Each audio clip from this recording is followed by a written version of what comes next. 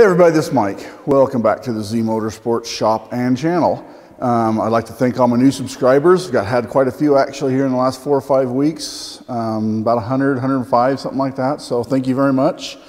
Um, and if you're not a subscriber and this is your first time visiting the channel or just clicked on the video, um, if you're interested in RVs, specifically uh, diesel coaches, jeeping or off-roading in general and modifications, and just any, any other gearhead related uh, shop projects, whether they be mechanical or machining or fabrication, go ahead and click that subscribe button because this channel is going to be for you. So, that being said, um, today's project is going to be another axle related fixture. Um, for those of you that remember two years ago in one of my earlier videos, I did an axle fixture that uh, cradled an axle. Uh, this, this uh, basically it's an uh, accessory to my engine, my engine stand. So it bolts onto the engine stand, so it cradles the axle. And I've used it quite a bit over the last couple of years. It works really good for holding, holding the axle fairly solid um, while cutting brackets and so forth off and grinding. We even reclocked my son's knuckles from his WJ project. Um, we've done we've, we've used that quite a bit. I've used it on a couple other axles where I've built built them, built the axles, the uh, gears, and everything. But the one thing that I, I guess I was hoping for a little more was a little more rigidity out of it.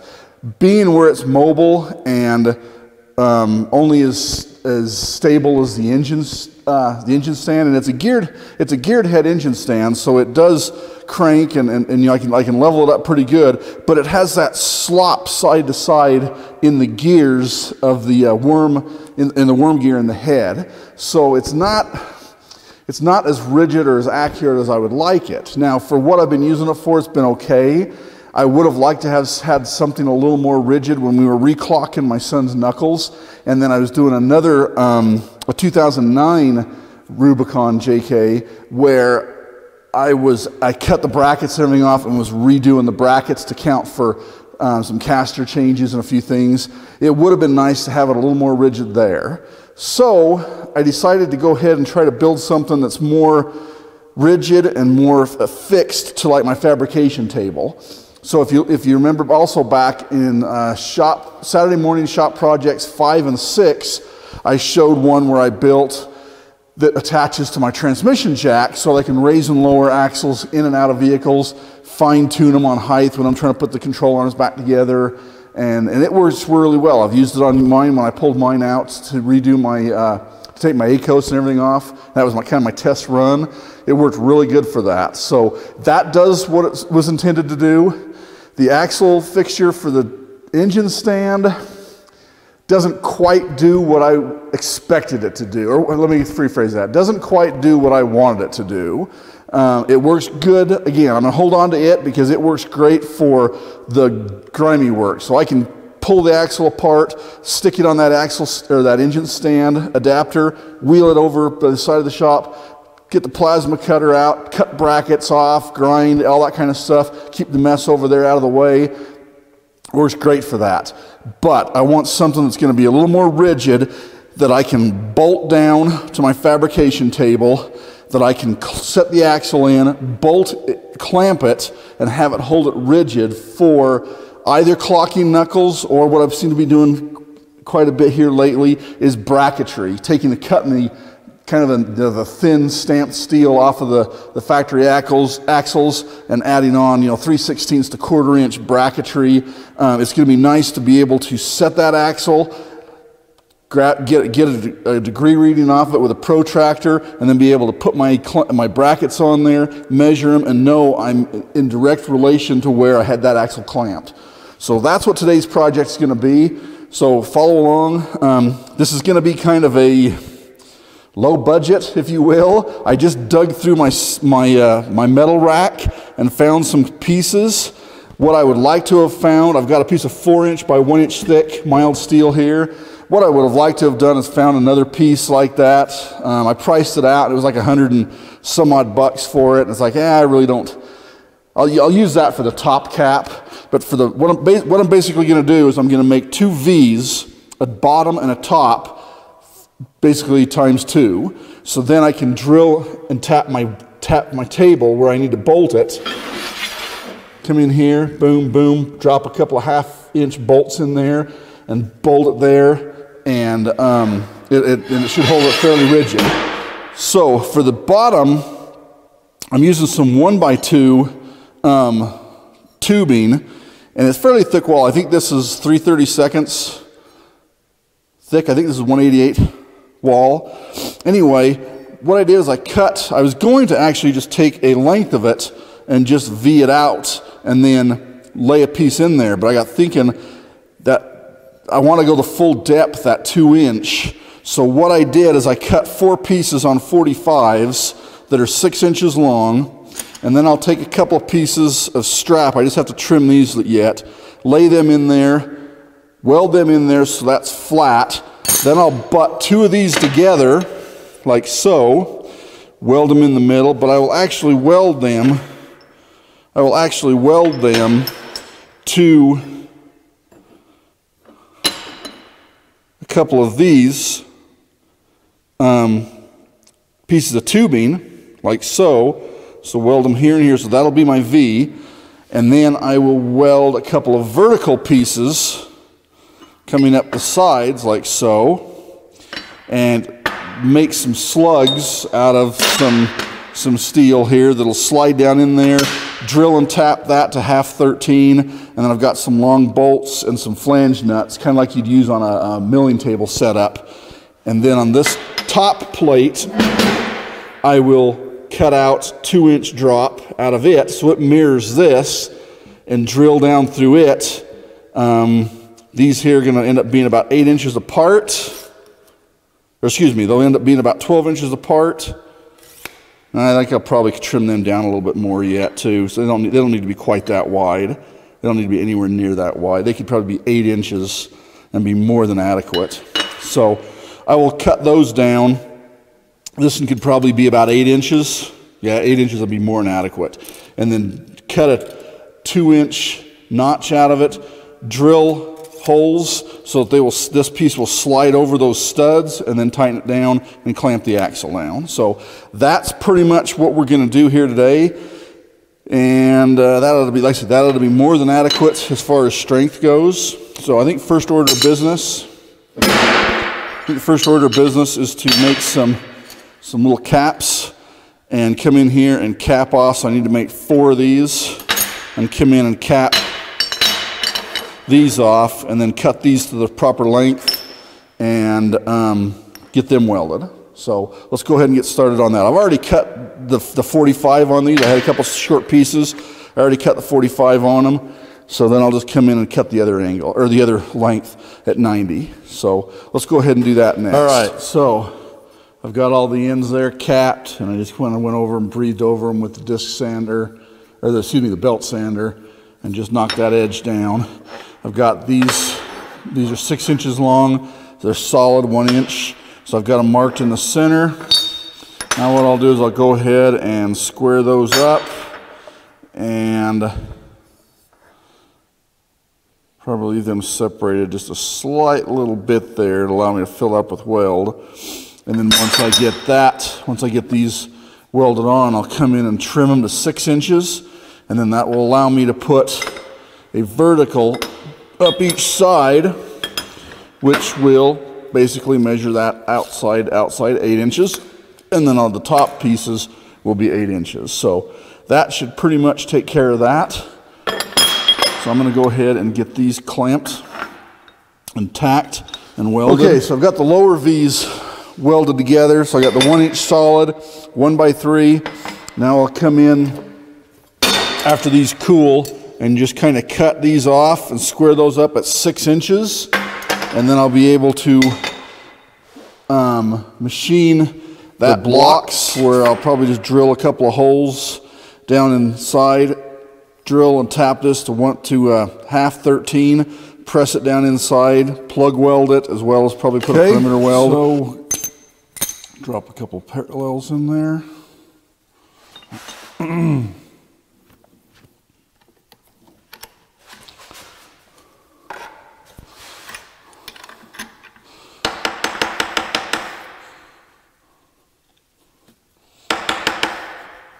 Okay.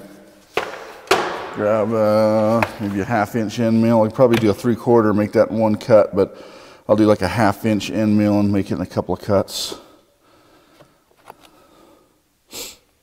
I got a nice 5 eighths one there. Maybe I'll use the 5 eighths.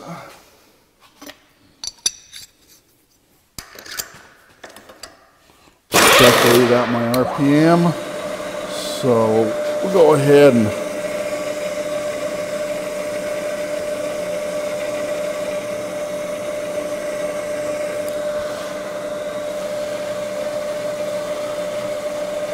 think I'll take an eighth inch off of this side, flip it over and do an eighth inch. So come down to where I just touch.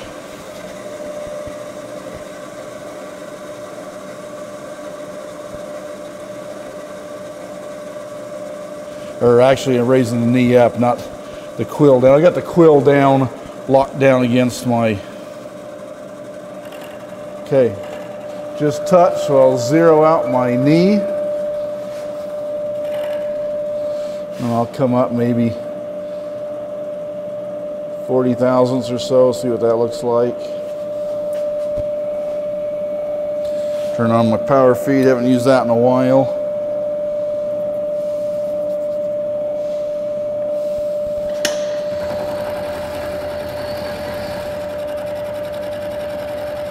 I'm gonna go ahead and face off each end here. Then when it comes time to cut it, I can measure in, boom, I'll cut two of them then face that off, then come in and cut the other ones, and that way um, I'm always cutting from a clean uh, machined edge. So there's each end machined and one surface. Now I'll turn it over.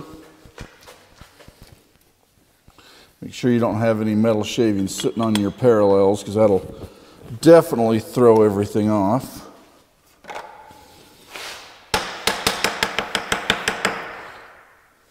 Okay tap it down while you're tightening your handle down. That way you make sure that the uh, vise is actually pulling the work down in rather than uh, letting it float. You can always tell if your parallels are tight. Now, while that's cutting, um, Electroweld square tubing, well, even round tubing, Electroweld tubing has this raised seam in here.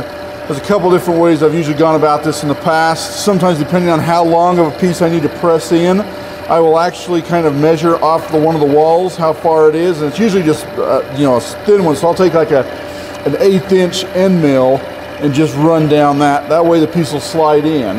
Where I'm only talking, you know, an inch and a quarter, inch and a half, I'll probably just reach in there with a chisel and drive that off, or a file or whatever. But I'll, I'll just knock the, the seam off the tubing rather than cut a uh, clearance groove in the uh, insert. There's, as I say, different ways of going about it. Six one, half a dozen of the other. All right, so I have all of my little blocks cut and uh, chamfered off. I made them all inch and a quarter. Well, I did a few thou inch, inch and a quarter anyway. The length wasn't exactly critical. Um, and then I went ahead and put a 45 chamfer on each one, so it's, when it's pressed down flush, I can lay a TIG bead in around the perimeter which will bring it up flush. And then right now I'm getting ready to drill um, some 3 8 inch holes in all four of these tubes. And I'm just going to do it on um, two surfaces, so I'll just drill straight through. So it's one inch square tube, eighth wall, so I'll probably come in half an inch on each side and down, probably split the difference. This is one and a quarter inches long, so I'll probably come down around five eighths or seven inch or so. So next up, I'm going to drill and tap my, uh, my four blocks. So I put my work stop here so I can put the blocks in once I find my center of each block because they're all the same size. I cut them all from the same stock. And I've also gone, because I'm so far off the one side of center of my uh, Kurt Vise here, I went ahead and put one on the other side so I don't side load the vise. So I've got both of those in there. It's random wherever the other one goes, but I've got this one up against my work stop. So I'm going to come in here and find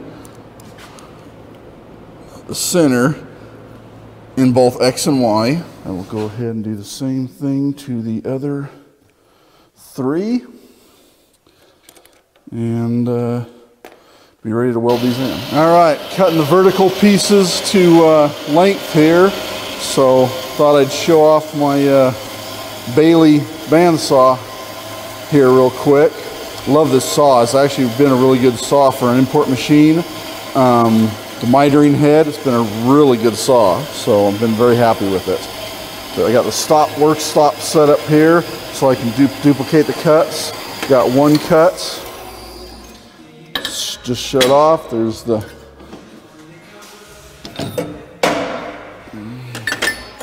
Load in another one.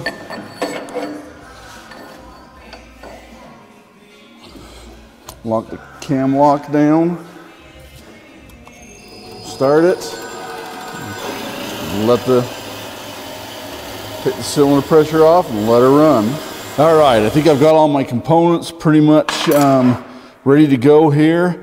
I've got all four of the blocks uh, machined, threaded, ready to press in. I've got the vertical tubes cut, um, put a slight chamfer in here. I removed the electroweld seam and knocked the mill scale off where the rosette welds will be. And then I cut them all to length and the other end has been prepped. What I will do though is once I get these pressed in and welded, I will take a final measurement and if I need to tune any of them up, I can touch off and tune them up from this end on the disc sander and then start clamping things together, get everything tacked and welded that on the, for the verticals. So um, I think we're going to head over to the uh, hydraulic press and press these slugs into the end of the I went ahead and give these a wipe down with some acetone before I uh, come over here. So let's go ahead and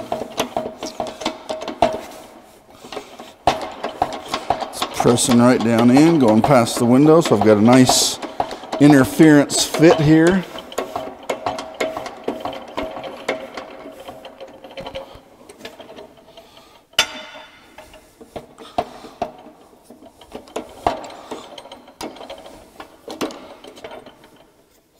Perfect.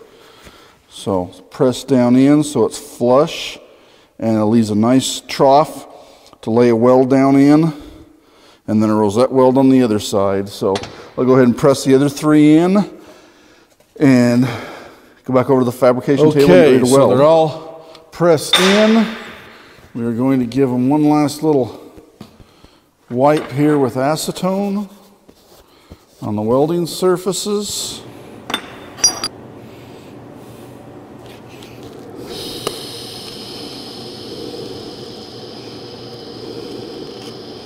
You want to go into the center first, get it molten, and then wash it into the walls when you're doing a rosette weld like this. Wash it to the walls from the center, otherwise you won't get good fusion. And then just go ahead and fill up the center.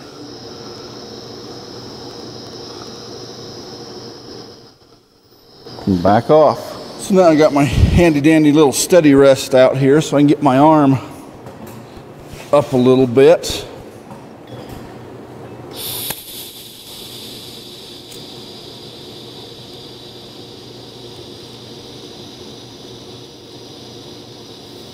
So I've got the uh, um, vertical pieces all welded to the lower blocks. I'm just letting those cool real quick.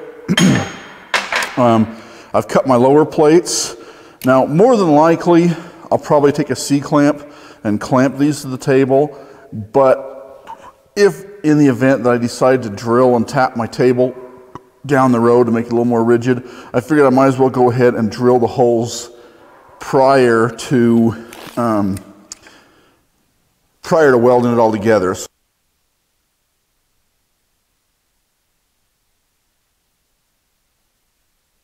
All right, so here are the, the two bases completed.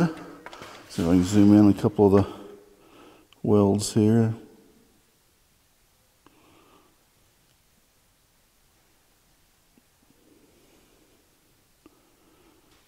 So this is pretty much how they'll sit. Spacing's not exact, but close. So I'll be able to reach in with C-clamps and clamp them down, or like I said, I do have the 3 8 inch holes in there if I decide to bolt them. Um, I'll probably put them on this side of my fabrication table. This side's got a little more over and overhang. This is where I usually scoot up under to TIG weld.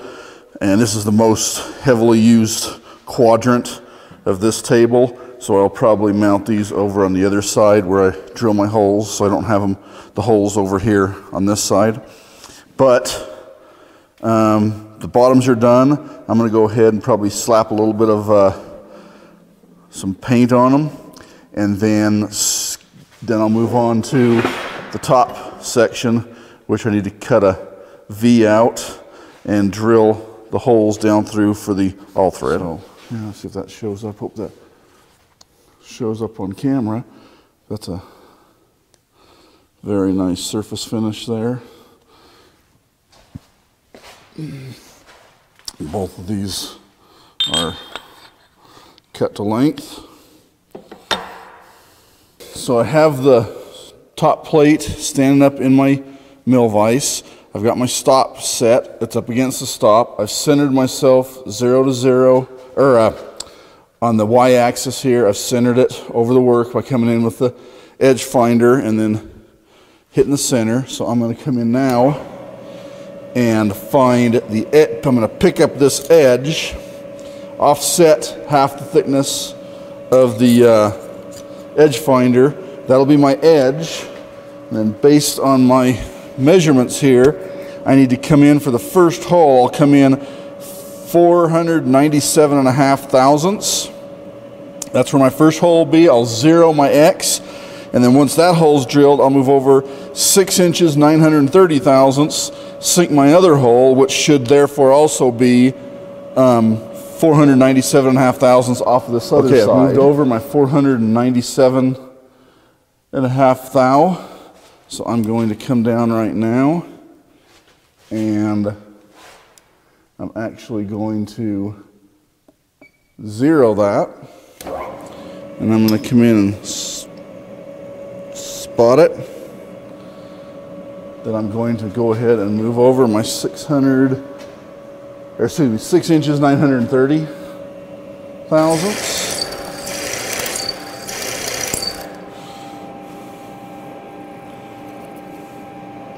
All right, well, sorry about that. I don't know what happened, why the camera shut off somewhere while progressing through the drilling of the holes. But anyway, I got the uh, all four holes drilled in these two plates. I ended up progressively stepping up. Um, and originally I got to half inch because I'm using half inch all thread. And it fit, it fit good, but it was a little snug going up and down. So I took it out to 17 30 seconds instead give me just a little bit of uh, leeway and now they seem to be working perfectly and I'll use uh, some flange nuts on it. So next item up is I'm going to go ahead and cut in the uh, V mirrored image of the bottom into the top. So there's a couple different ways you can do this I guess.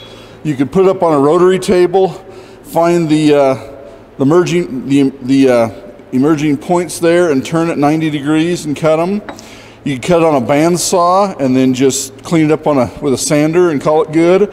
Um, however, I've already got a mess all over my mill, so I think what I'm going to do is I'm going to set it up on some one, two, three blocks, to get it up off the table. I'll remove my vise first, set it up on some one, two, three blocks, set it at 45 degrees, and then I can use my X and Y axis to uh, cut the the V-notch in there. Now you could also set it up in the drill or in the uh, vise and put it on 45 and come in here and cut it.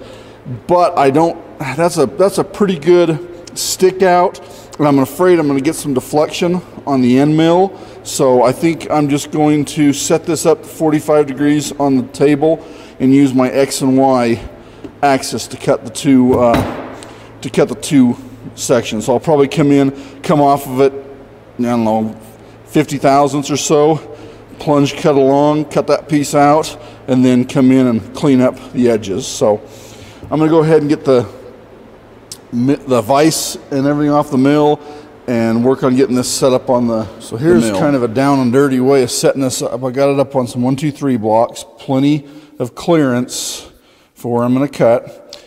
I've got it clamped, I've just got it snugged down. So then I've taken, I know this is 45 degrees, so I've got my Brown and Sharpe um, combination square up here. And then I'm just going to traverse across this.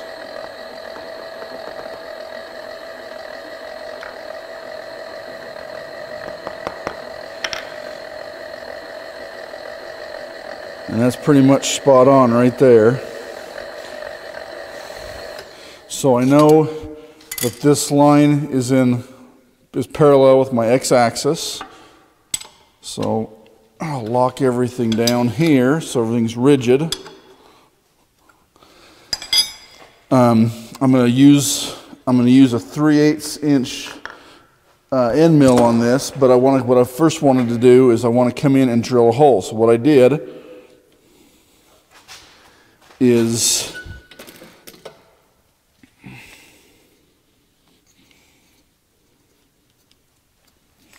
before I got too carried away with that, um, I center punched a hole here and I'll find center with my wiggler.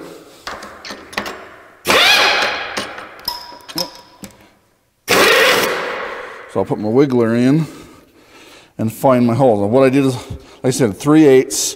So that's going to be the bottom of it. And I want a nice radius at the bottom. So the uh, half of 3 eighths, which is the radius, is 3 sixteenths, so 187 and a half thousandths. So I come off of that. Basically, I know the center line of this is 2 inches. I subtracted 187 and a half thousandths off of that. Come in there, scribed it, center punched it. This is where I'm going to drill my 3 eighths inch hole. I'll use that as my 0, 0, and then I'll come off the x-axis a little bit, cut in my y, and then I'll come off my y-axis a little bit, cut in my x, and then I'll fine tune that with an end mill.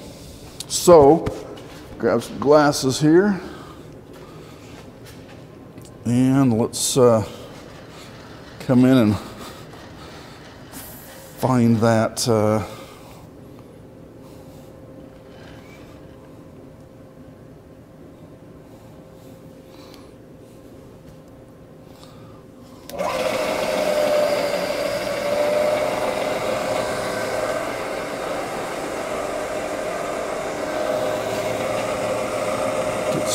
Get the wiggler to quit wiggling.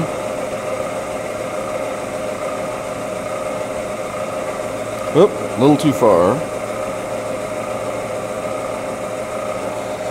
Okay.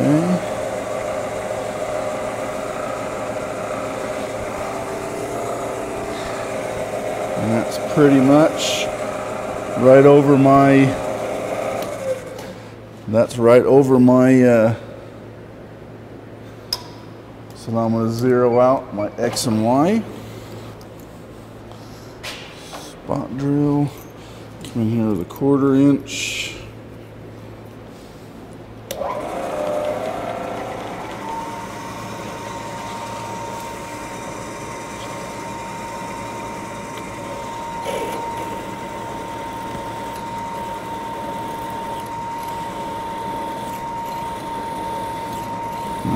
With my 3 eighths.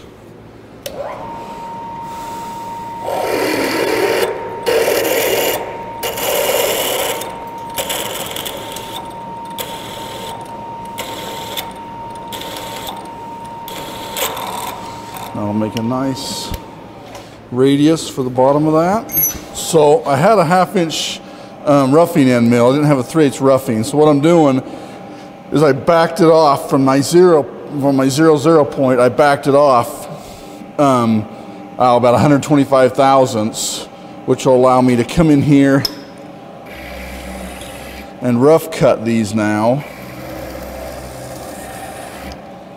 And then I'll put the 3 8 end mill in. See, I'm just barely off of that line now. Then I'll come in with uh, the 3 8 end mill and go to spec. So won't bore you with the the details of this. I'll uh, come back once I get this roughed Okay, out. so I kind of had to. Okay, so I kind of had to adjust on the fly here because I don't have a 3 8 end mill that is one inch in length to make sure and reach the uh, full depth of this block. So I had to adjust off half the radius with a half inch, same one I used to clean up the ends. So then I'll just come in and I'll stop where my Y comes in to the radius at 61 and a half thousandths.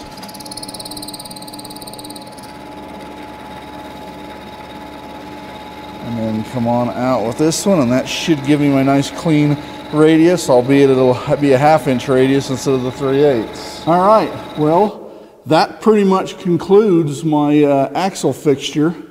Um, I've got it kind of spaced, kind of pretty much how I think it will be, give or take probably a, a, an inch or two here on the fab on the fabrication table, and I will put it on that side because, like I said, this quadrant over here is where I do most of my welding and fabricating. So on that side, um, if I drill a couple holes to mount it, no big deal. But anyway, you can kind of see the range it'll work. This is pretty much indicative of what a, a Dana 70 or an 80 or maybe even a, a, an a, AAM uh, axle will be. And I still have plenty of thread and plenty of contact area to lock it down and hold it.